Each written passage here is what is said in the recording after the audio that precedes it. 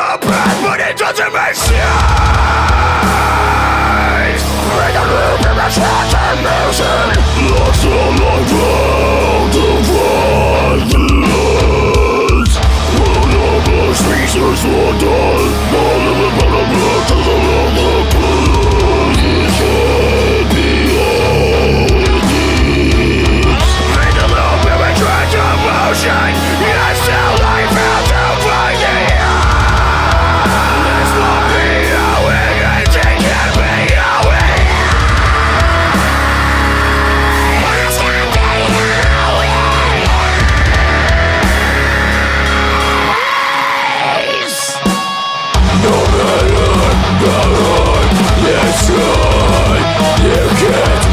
Christ.